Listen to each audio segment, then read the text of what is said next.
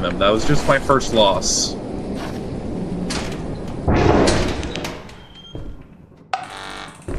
Oh, box you?